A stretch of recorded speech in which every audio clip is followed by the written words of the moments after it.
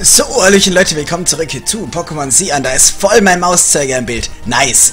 Ähm, in der letzten Folge haben wir uns hier in die Sierra-Wüste begeben, wo äh, seltsame Pokémon auf uns warten. Doch, dich kennen wir ja schon. Prinzipiell seid ihr trotzdem seltsame Pokémon. Ähm, und oh, ich glaube, die Katze hat Hunger.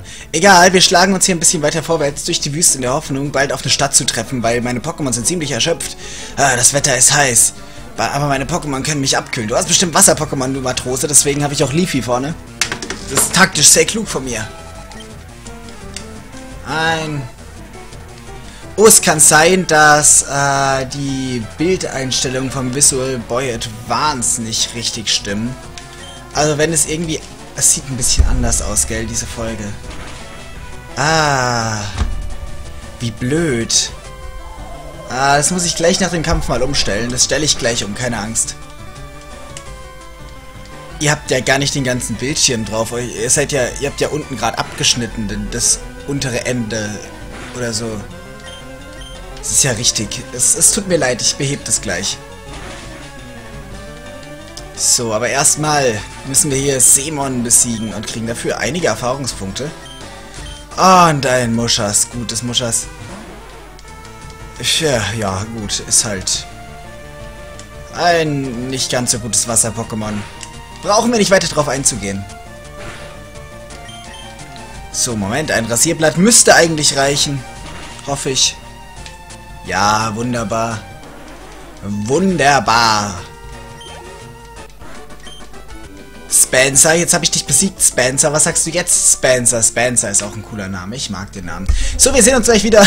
So, jetzt müsste es passen. Du siehst nicht aus wie ein Trainer. Ach doch, du bist ein Trainer, lol. Da ist nicht viel Wasser in der Wüste, aber ich will fischen gehen. Dann geh nicht in eine verdammte Wüste. Was ist eigentlich falsch bei den ganzen Trainern hier? Meine Fresse.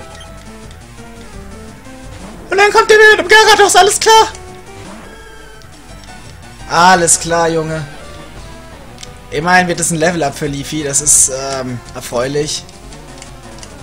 Können wir mal bitte darüber reden, dass es gerade gefühlte 40 Grad draußen hat und ich immer noch in einer scheiß Dachwohnung wohne und ich hier gerade voll den Hitzestau krieg. Äh, Leute, es ist so brutal. Deswegen, äh, es tut mir leid, dass gestern keine Folge Cian kam. Ich will Cian ja eigentlich täglich bringen, den Rest so ab und zu. Aber es ging einfach nicht ich habe dann, ich habe vorgestern nachts noch ähm, mit dem Marcel zusammen das Overwatch aufgenommen gehabt. Oh, Critical Hit, wunderschön. Ich habe mit Marcel dann noch das Overwatch Ranked angeguckt, was übrigens ein ziemlich gutes Spiel ist. Also, also die Runde, die wir aufgenommen haben, ist eine ziemlich gute Runde. Ähm, das solltet ihr euch auf jeden Fall angucken, ist empfehlenswert. Deswegen war ich froh, dass ich gestern noch was zum äh, Aufnehmen hatte. Äh, zum Hochladen. Aufgenommen habe ich, ich gehe außen rum. Ich will jetzt so wenig kämpfen wie möglich. Weil meine Pokémon doch ziemlich hart angeschlagen sind. Außerdem können wir an den Trainern dann später noch trainieren, das ist auch okay. So, flüchten. Obwohl die ein ziemlich hohes Level haben. Komm, hier muss doch irgendwo eine Stadt kommen. Du... Guckt euch das an, es ist so traurig. Ah, es ist so traurig. Pass auf die Kakteen auf. Okay. Weil sonst hauen sie ab, oder was? Ach, gibt's hier, äh... Das wäre cool, wenn sie jetzt die Kakteen-Pokémon, was gibt's denn? Ähm...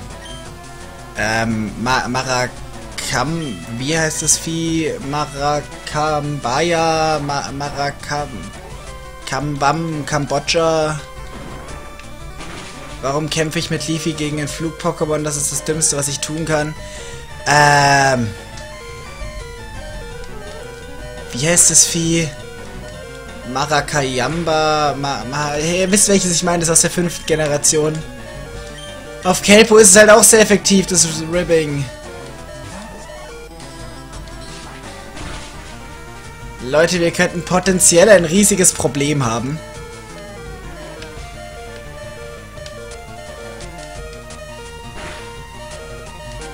Äh, ich habe noch Beleber, glaube ich. Weil jetzt wird es gerade echt hart.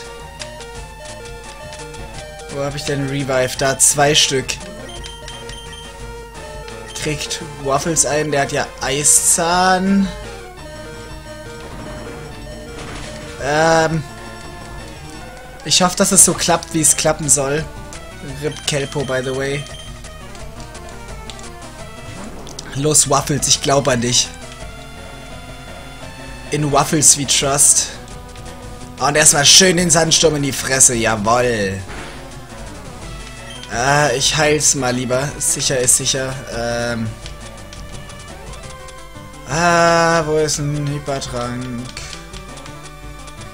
Ich und Ordnung im Inventar, das ist immer so eine Sache. Da, Hypertrank. Müssen wir auch neue kaufen gehen. Ah, oh, macht der uns gerade. Na, das macht auch Schaden. Ah, oh, das ist unschön.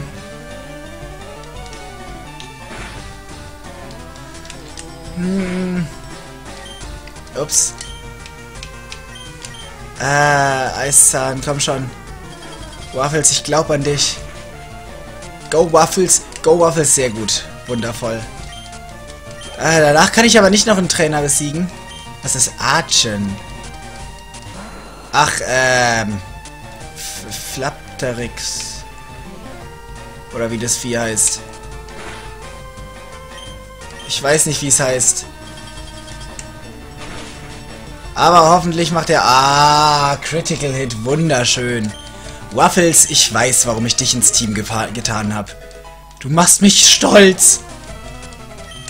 Und ein Schwalboss. Nee, Schwalbini.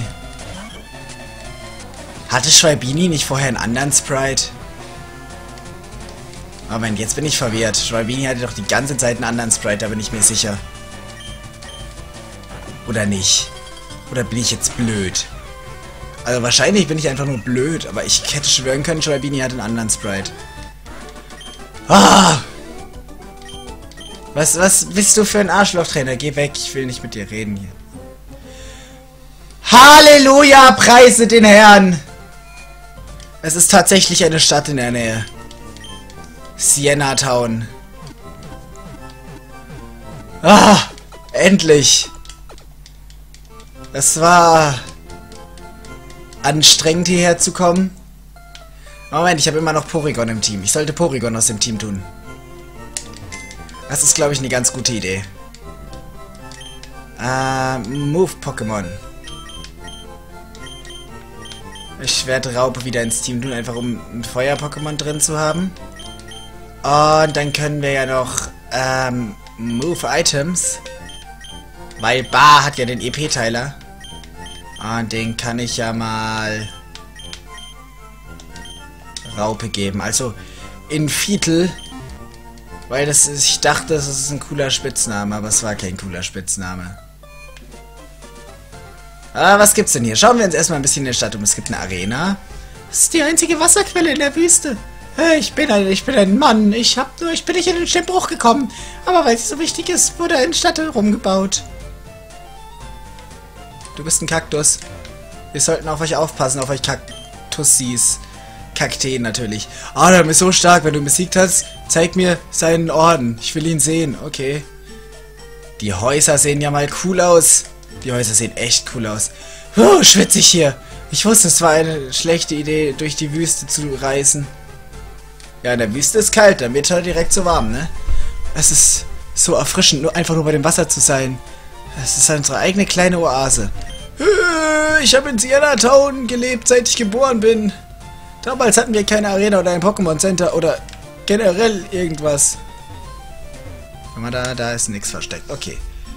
Hat die Stadt überhaupt irgendwas? Also das ist ein Haus, dessen Tür keine Öffnungsanimation hat. Okay. Okay, du schenkst uns einfach eine TM. Sandsturm, okay. Nice. Ich gehe davon aus, dass der Arenaleiter ein Boden-Arenaleiter ist. Oder äh, der Attackenverlerner. Nee, das, dich brauche ich nicht. Dankeschön. Ähm, da geht's weiter. Also gibt's hier wirklich... Die Stadt hat tatsächlich zwei Häuser. Ich bin mir nicht sicher, ob das einfach nur faules Mapping ist. Oder ob es damit zu tun hat, dass es halt mitten in der Wüste ist. Ähm, Ich kaufe mal ein paar Supertränke. Und Beleber.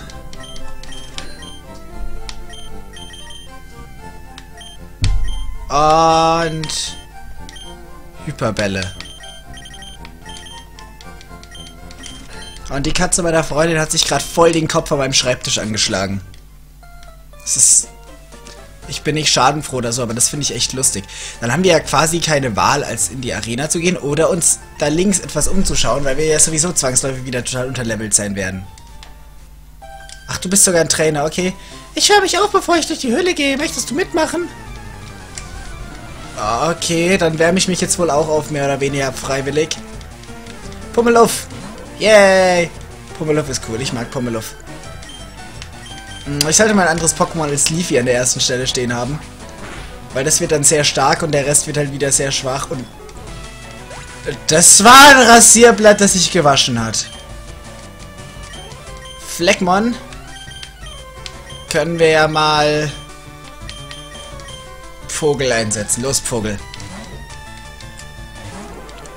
Ich weiß nicht warum, weil eigentlich wäre es taktisch am klügesten gewesen, gegen Fleckmon ähm, Leafy draußen zu lassen. Ähm, ja gut, aber... Vogel wird es auch schaffen. Ich glaube an dich, Vogel. Vogel! Ich finde es immer noch einen sehr schönen Namen. Und nochmal Amnesie. Das erhöht ja nur die Spezialverteidigung, oder? Und den Spezialangriff oder so? Nee, nur die Spezialverteidigung. Und da wir physisch angreifen, das ist uns scheißegal! Geh weg, Fleckmon! Was kannst du eigentlich? Ich bin aufgewärmt! Du bist, äh... Ja. Oh, Team Rocket, du bist der, den wir treffen sollten. Du bist hier für den Angriff, ja? Wir bereiten uns immer noch darauf vor. Äh, wir haben nur einen Versuch, Regirock zu fangen, also muss Giovanni erst sicherstellen, dass alles ohne Fehler abläuft. Ah, du wirst doch etwas warten müssen. Vielleicht kannst du den Arena-Leiter herausfordern oder so. Deine Pokémon müssen am stärksten sein. Aber wenn sie den Arena-Leiter herausgefordert haben, dann sind sie doch geschwächt. Wo ist da der Sinn? Ja! Error 404, Logic not, not found. Dann können wir ja mal auf jeden Fall noch einen Trainer in der Arena bekämpfen.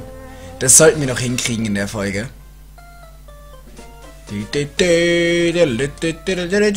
Wie die einfach... Oh nö. Oh nö. Ähm... Wenn er Gesteins-Pokémon hat, ist Leafy eine gute Wahl. Wenn er Boden-Pokémon hat, müsste Rocky eine ganz gute Wahl sein. Oder Kelpo. Kelpo müsste gegen Gestein auch hart zerstören. Er hat Boden-Pokémon, okay. Sehr gut.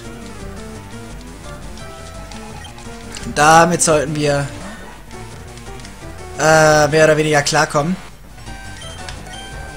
Ähm, oh, ich will, dass Rocky Erdbeben mal lernt. Das wäre cool. Das war gar nicht so viel Aua. Schaden. Das wird mir... Oh, nee, doch nicht. Okay, ähm... Was du kannst, kann ich auch. Ah, Mist, Sandern ist ja kein Gesteins-Pokémon, oder? Nee, Sandern ist kein... Geh mir... Bitte weg mit Schwertanz.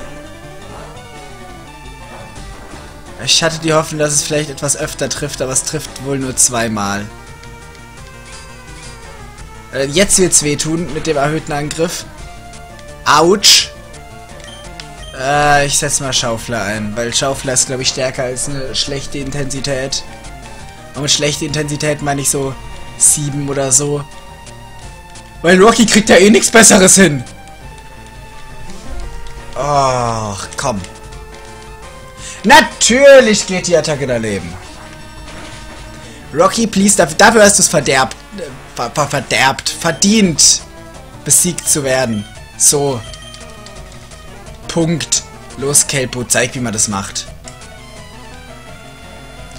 Zeig Rocky mal, wie man kämpft. Also Rocky ist halt echt nicht stark. Ich weiß auch nicht, wenn es so weitergeht, werden wir Rocky nicht lange im Team haben. Ah, lass ich jetzt halt Kelpo kämpfen. Warum habe ich eigentlich Ding, Waffles nicht den äh, EP-Teiler gegeben? Weil Waffles braucht noch ein Level, bis es sich entwickelt. Und ich will die Weiterentwicklung sehen. Also wenn ich es richtig im Kopf habe, hat es noch ein Level, bis es sich entwickelt. Und das ist cool, weil Waffles cool ist und seine Weiterentwicklung wird auch cool sein. Und Kelpo krabhammert sich hier gerade durch wie... Keine Ahnung. Immerhin kriegt Raupe Level-Ups. Und ein Sandama. Wenn wir Glück haben, reicht das sogar auch, der Ding. Der Krabhammer.